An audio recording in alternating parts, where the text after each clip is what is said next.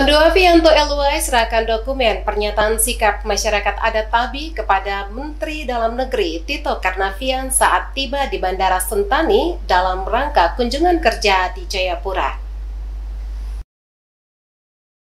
Dalam rangka kunjungan kerja Menteri Dalam Negeri Republik Indonesia Tito Karnavian ke Jayapura beberapa waktu yang lalu, Ondo Avianto LY menyerahkan dokumen pernyataan sikap masyarakat adat Tabi kepada Menteri Dalam Negeri saat tiba di VIP Room Bandara Sentani, Kabupaten Jayapura. Pemerintah pusat memastikan Provinsi Papua Tabi yang semula usulkan sebagai daerah otonomi baru di Provinsi Papua batal dimekarkan. Hal ini karena ibu kota Provinsi Papua masih berada di dalam wilayah Tabi. Oleh karena itu, nama Provinsi Papua diusulkan untuk diubah namanya menjadi Provinsi Papua Tabi. Hal ini disampaikan perwakilan masyarakat adat Tabi Ondoavi Yanto LY saat menyerahkan dokumen pernyataan sikap kepada Menteri Dalam Negeri Republik Indonesia, Jenderal Polisi Tito Karnavian di ruang VIP Bandara Sentani saat berkunjung ke Papua beberapa waktu yang lalu.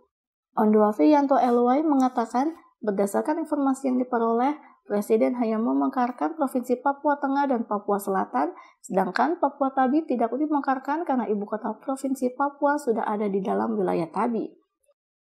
Sikap yang tadi kami sampaikan, eh, kami serahkan kepada Mendagri, Bapak Bapak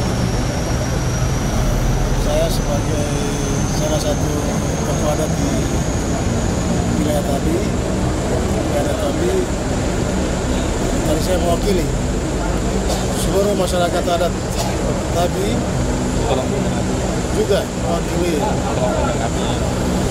pemimpin masyarakat adat tadi menyerahkan pernyataan sikap tentang atau aspirasi kita tentang pemakaran provinsi tadi. Ya. Dalam aspirasi itu kami sudah sampaikan bahwa uh, sehubungan tuntutan atau aspirasi masyarakat Papua pemekaran dari otonomi baru bahwa kami sudah mendapatkan beberapa informasi bahwa sudah disetujui dua parlemen yaitu Provinsi Papua Tengah Papua dan Provinsi Papua Selatan. Oleh sebab itu kami minta kepada Presiden, kepada Presiden Pusat, khususnya bahwa Provinsi Papua saat ini kita minta supaya nomenklatur perubahan nama menjadi Provinsi Papua tadi. Jadi bukan provinsi eh, baru lagi, hanya perubahan nama. Jadi Provinsi Papua yang ada ini kita minta perubahan nama.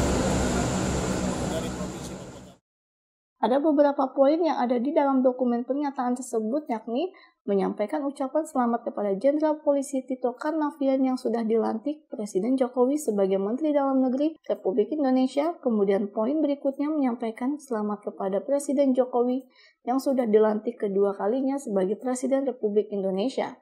Selain itu, di dalam dokumen pernyataan sikap itu juga pihaknya meminta kepada Presiden agar pada saat mengeluarkan Kepres pemekaran daerah otonomi baru dua daerah itu nanti bisa disertakan dengan Kepres perubahan nama Provinsi Papua menjadi Provinsi Papua Tabi. Dari Sentani, Aditya Setiawan, Sentani TV melaporkan. Jangan ke mana-mana pasti macet dong. Kita akan kembali setelah pariwara berikut ini.